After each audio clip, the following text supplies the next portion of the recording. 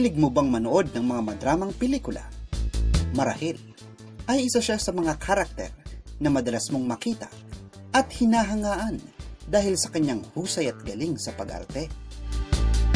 Hindi man siyang palaging bida o kaya ay ang leading man na madalas na nagiging sentro ng kwento ng palabas.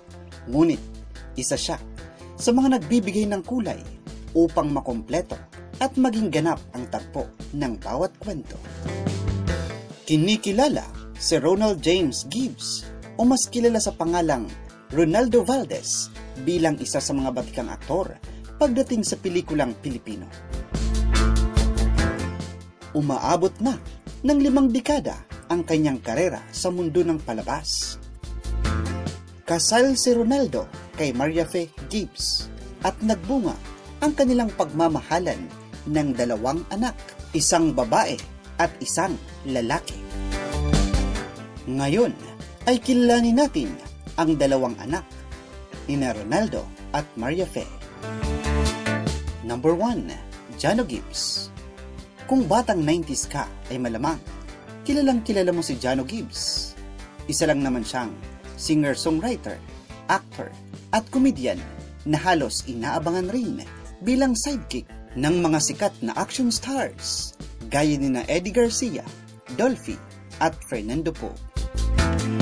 Higit na nakilala si Jano sa kanyang pagpapatawa at naging bida sa mga pelikulang Ang Pagbabalik ni Pedro Pindoco, si Mokong, si Astig at si Gamol, kasama sina Andrew E. at Dennis Padilla. At ang kanilang reunion movie na Pac Boys, Takusa. At kung hilig mo naman ang mga awiting alay sa iyong sinisinta, ay hindi rin nawawala ang mga musikang tumatak sa isip at puso ng mga Pilipino na isinulat at inawit ni Jano gaya ng Ipagpatawad mo, minahal kita agad.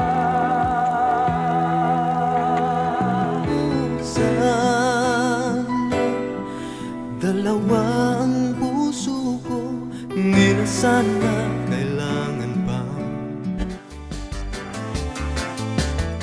Kasal si Jano kay Bing Loisaga na isa ring aktres. May dalawang anak sina Jano at Bing na sina Alaysa at Gabi na kapwa magaganda. May video na tayong nagawa tungkol dito. Nasa ibaba ang link nito kung di mo pa ito napanood. Ikalawa, Melissa Gibbs. Isa ring magaling na aktres si Melissa at singer-songwriter. Ilan sa mga pelikulang kinabilangan niya ay Ali in Wonderland, Bangers, at Mega Mall. Ang mga kantang gaya ng Sana'y bati mo ang aking damdamin Sana nga noon pa mang una Aking inibig ikaw na ay ilan lamang sa kanyang mga awitin. Pinili ni Melissa ang maging pribado ang buhay. Hindi rin alam ng marami kung nananatili pa siyang single o kaya kung may asawa na.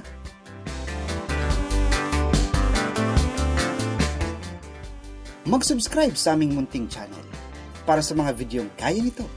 Salamat sa inyong panonood, mga kasama.